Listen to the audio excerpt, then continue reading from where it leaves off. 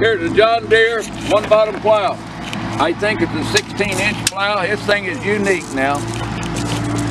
Got your gauge tail wheel here and a gauge wheel here. It'll fit one of your old John Deere tractors. It's got uh, Coulter on it here.